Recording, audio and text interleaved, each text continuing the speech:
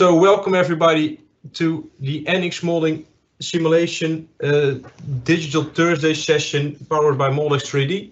Um, together with Larry Wren from Moldex, um, we are giving this presentation today. Um, that's why it also is in English. Um, my name is Ruud van der Brand. I am the NX CAD pre-sales consultant for more than eight years now focused on the NX-CAD demonstrations, helping customers with their design questions and challenges, and also for the prospects, and also giving the coaching slash training sessions around the Benelux. And together with Larry Wren, he will introduce himself. Hello, everyone. My name is Larry. I'm the regional manager for the Benelux area. Um, I'm very glad for uh, having this opportunity to present today the latest technology that we have in Moldex. I have started as a support engineer, uh, mostly for the, the European market at the beginning. So I'm still involved in some uh, technical projects. So if you have any interest or any special inquiries, please uh, feel free to contact me after this session. So the agenda for today, we have just done a small introduction of ourselves. Um, we're going to talk about market trends, challenges, um, talk about the introduction to CAD embedded molding simulation. So how is the eDesign Sync module working and in NX-CAD? And then we give also a live demonstration about these topics. Okay, so first let's take a look at the current situation in the market. Um, we have been talking about Industry 4.0, smart manufacturing for quite some time now. So we see that more and more companies are willing to transform their whole product lifecycle to the digital world. They have created a digital twin of all the processes. So to achieve that, you need the help of a lot of uh, software. So already starting from the design or the manufacturing, you already have the option of having a lot of CAD or CAM software. And then in the middle, you have the analysis stage, which which need to have CAE software. So all this loop is getting more and more complete. It's no longer a question of why do we need this, but more on how we're going to do this. But now we are facing a new challenge is that uh, the global economy is changing, um, sometimes with the influence of, uh, of uh, many countries, and sometimes because of this very strange situation that we have this year because of the virus. So companies are also thinking about to be more and more independent. That means you have to complete all these uh, uh, steps in-house with the suitable capabilities, with suitable people, and also suitable tools, so software.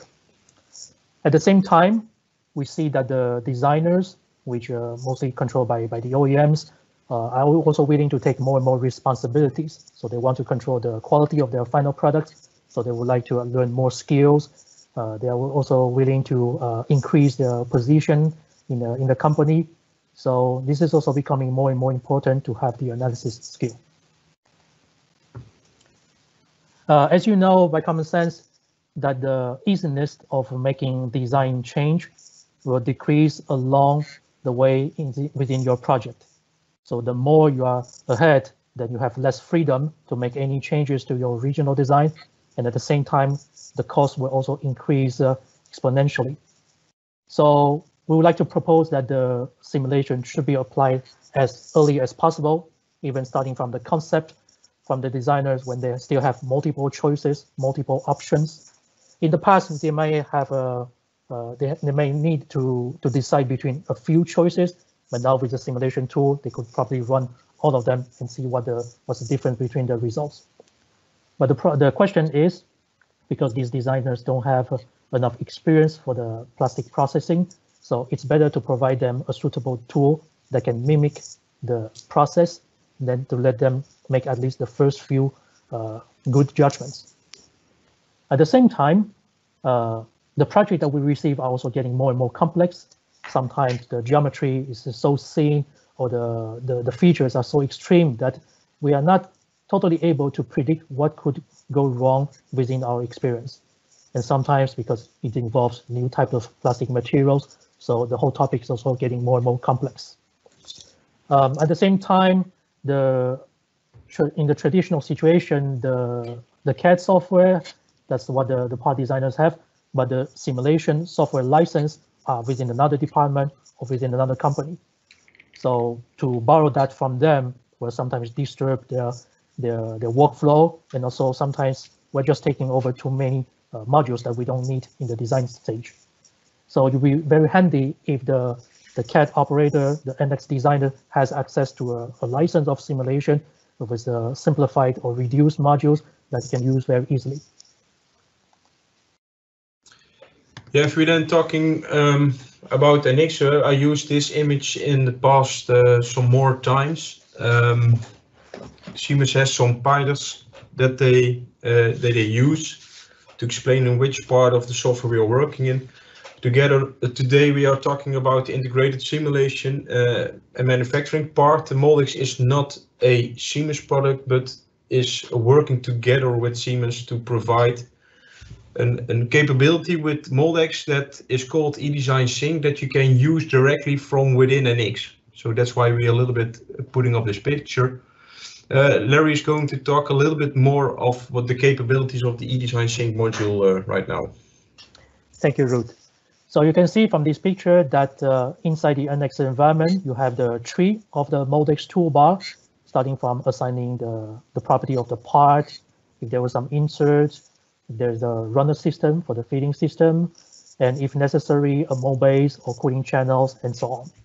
So we can assign all the attributes, mesh it with a suitable uh, uh, resolution, and then choose from our very rich material database that is equivalent to the one that we have in the standard version. So choose from more than 8,000 material that you can have.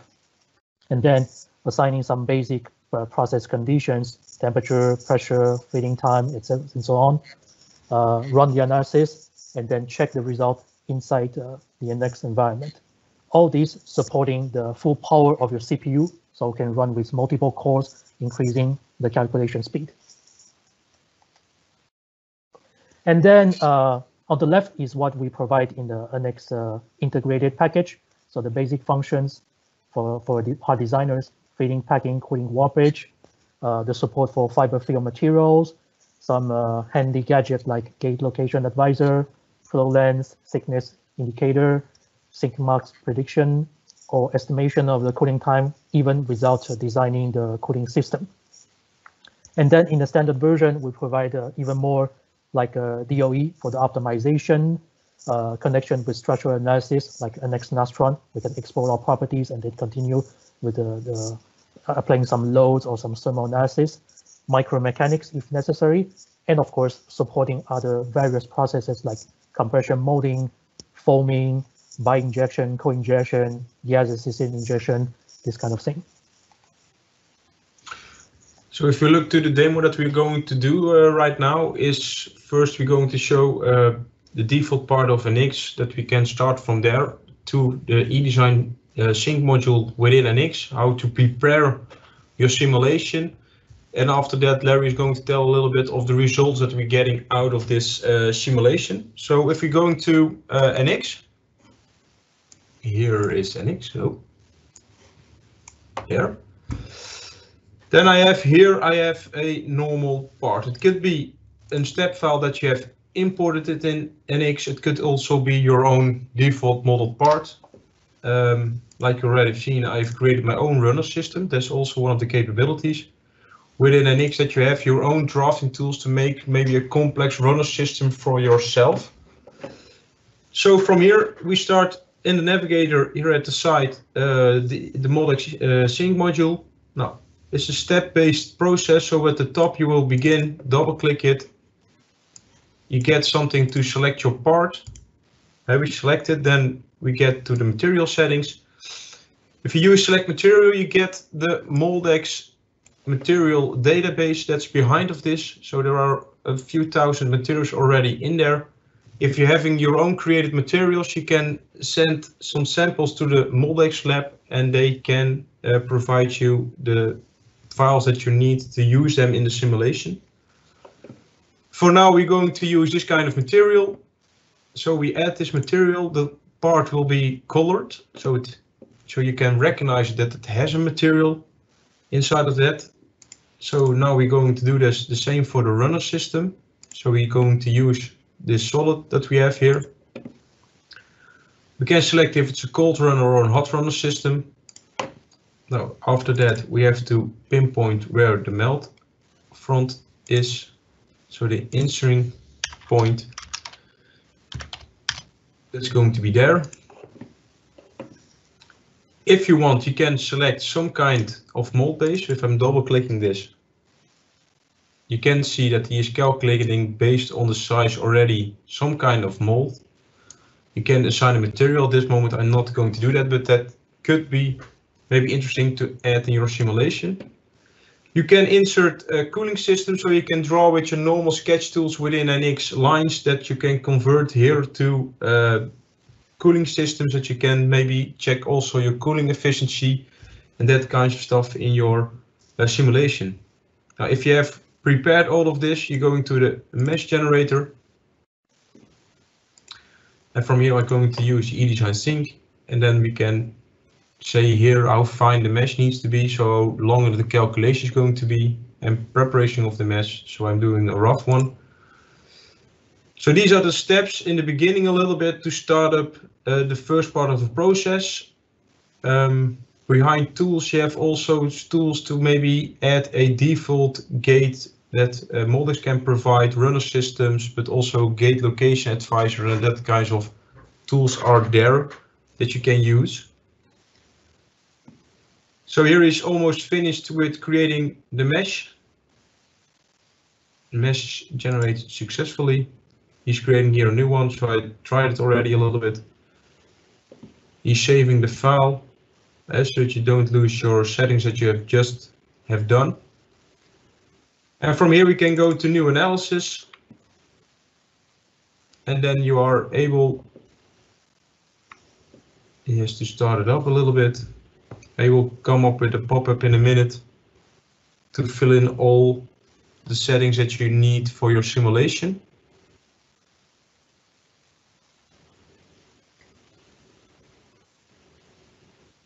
take some time because we have to collect some stuff. There it is. So I can here set with mesh heading which mesh we will use. So it was mesh 3. You can give it a name.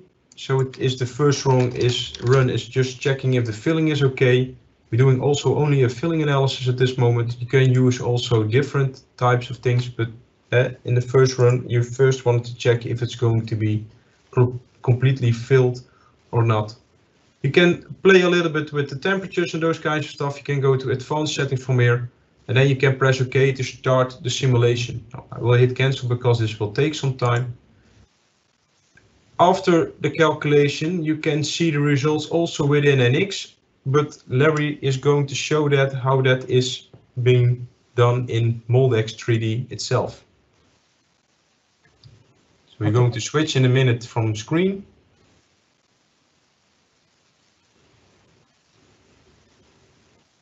Larry is going to switch.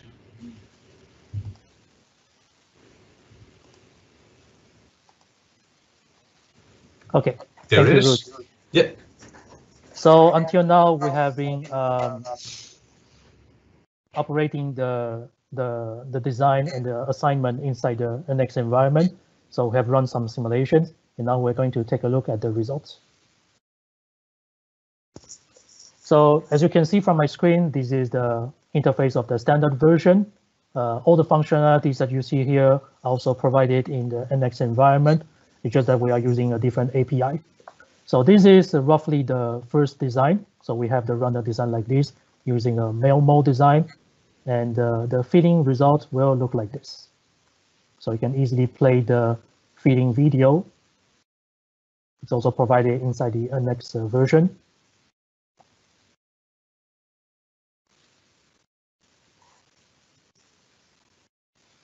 And then by just stopping a few steps before the end of the feeding, we can start to investigate our first potential issue.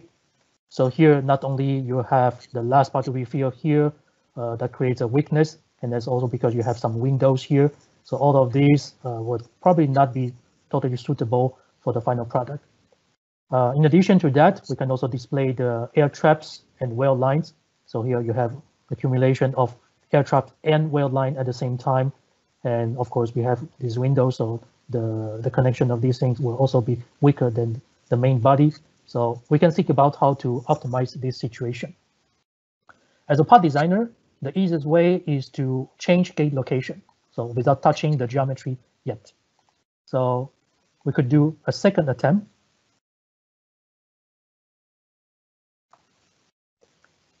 Changing the concept from a male mode to a female mode. So uh, as you can imagine, uh, if you have already ordered a mode and you want to make this switch, then that would be very, very complicated. So it's better to do that in, a, in the software. So respecting the same flow length, so I'm trying to put the gate roughly at the middle of this part, and we can observe the feeding pattern again.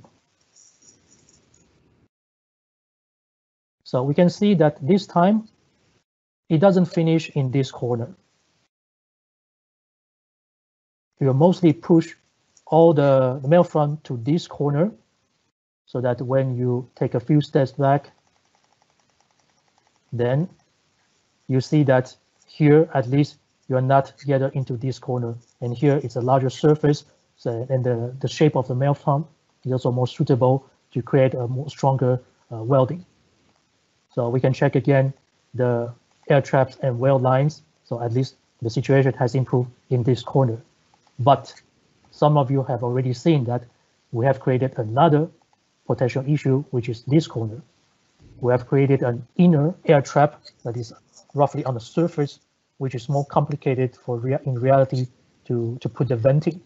So in that case, we're going to uh, maybe make a first attempt to change the location of this rib within the NX environment.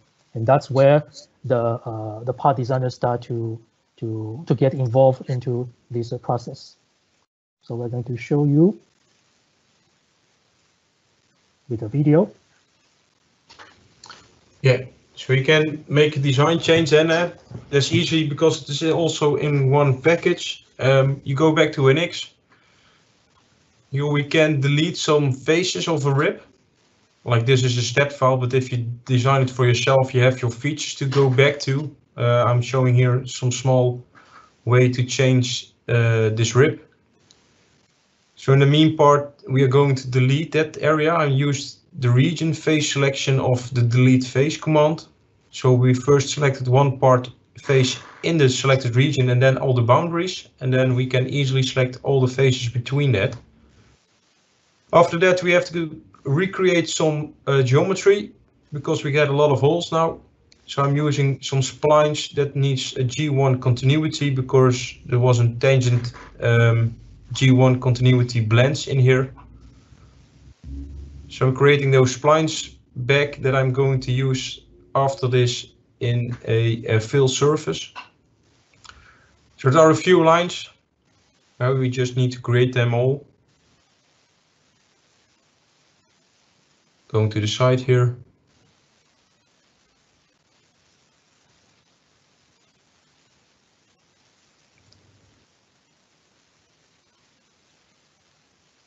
One side left.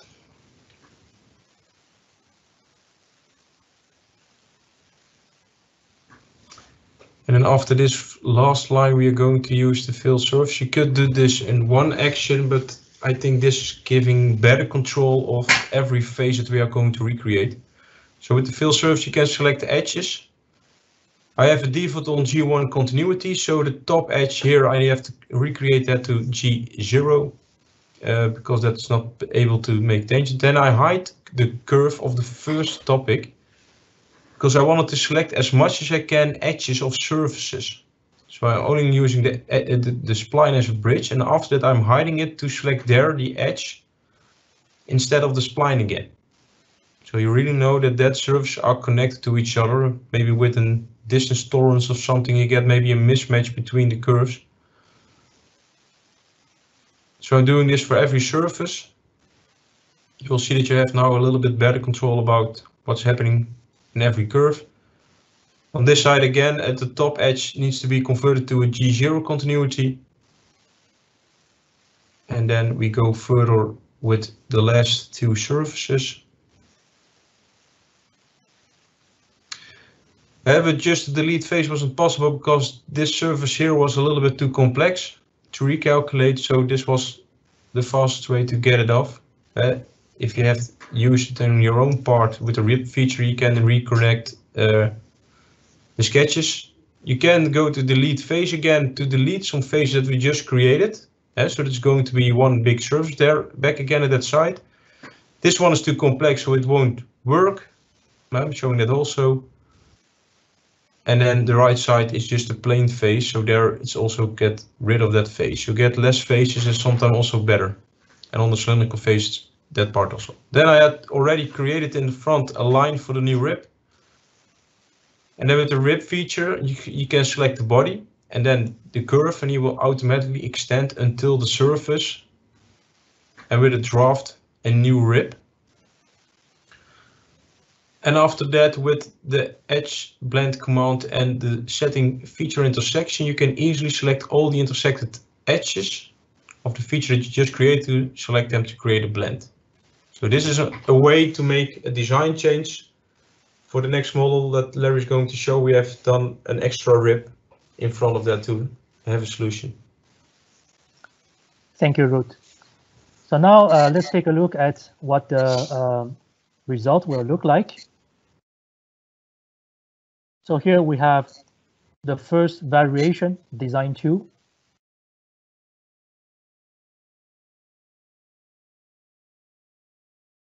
with a modified rib position. So here we're just using common sense. So the designer has no clue what could help, what could uh, be wrong, but he just tried to move this rib apart so that maybe he's expecting that the merging of the, the fitting pattern will be better. So we can also make a comparison with the previous run. So here on the right, I'm putting the new run, and on the left side, I'm putting the original run three with different rib design at the corner. And then we just let them flow at the same time.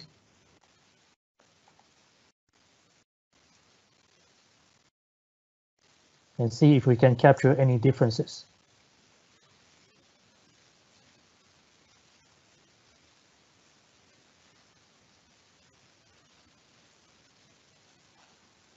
And then when we take a closer look,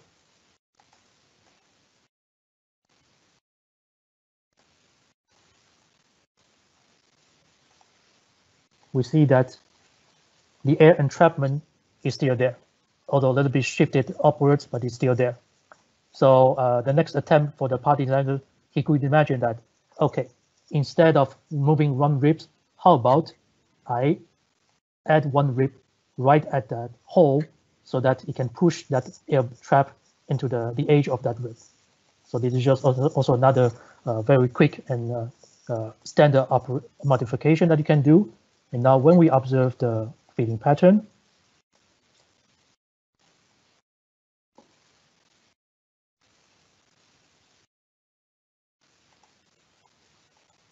we can see that the air entrapment has been really pushed to the rib so that you will end up uh, at this side, which will make it easier for the venting to be placed. So at least for the part designers within uh, roughly two designing change or maybe two gate location, he already know, he already knew and learned how to solve the first injection molding problem.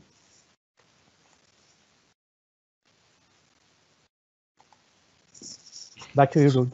Yeah, so if you look at the recap small of what we have done, uh, uh, you can use your original designs to um, send them to Moldex by using the eDesign Sync module that there is capable in your CAD software uh, we have used now NX.